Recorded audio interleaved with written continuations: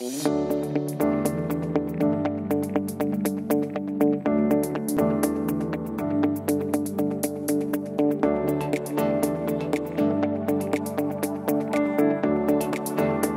next we're going to talk about our two limit switches, the limit switch for the guillotine and then also the limit switch for the end trimmer and how the timing of those switches will affect your edge banding tape in relationship to your material that you're running through the machine. This video is for demonstration purposes only, so we will not be running any of the motor functions, so there will be no issues of danger or hazard in the process.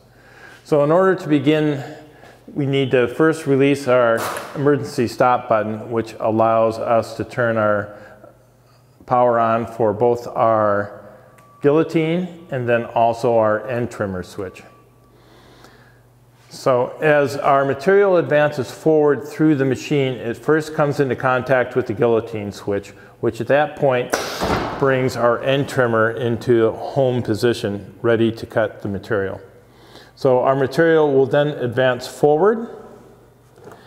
And as it continues to advance forward, it'll hit our second switch, which is over here where our end trimmer is at. At that point, I will go ahead and depress that.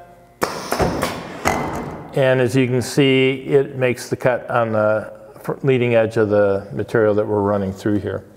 So I'm going to move this board back, imitating the board releasing the switch, which then makes the cut with our guillotine.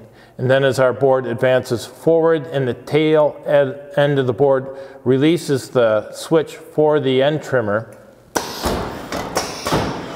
the end trimmer then goes ahead and makes the cut on the end of the board.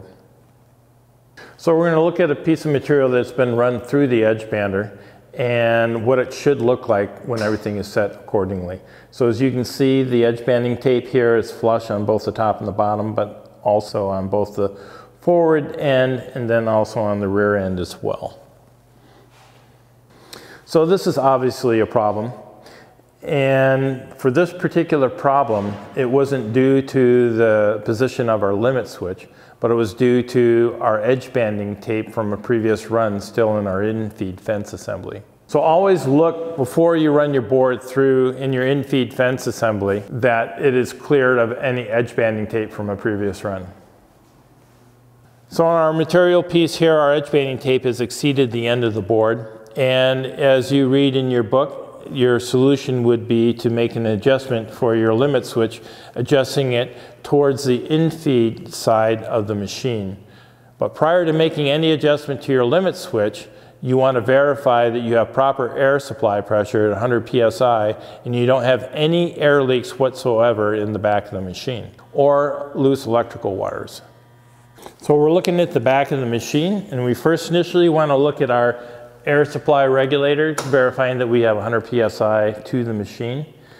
Then we want to check all of our lines here coming into our air solenoids as well as through our regulators and up to the end devices that we have no air leaks at any point whatsoever.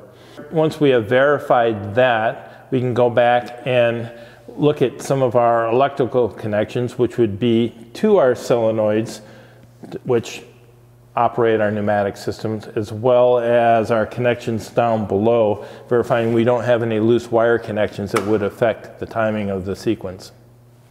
So here we have our limit switch. It has two cap screws here, which are for your adjustment. So once you loosen these, you can move this switch towards the in-feed side if your tape on your end of your board is too long, or you can move it towards the outfeed side of the machine if the tape is too short.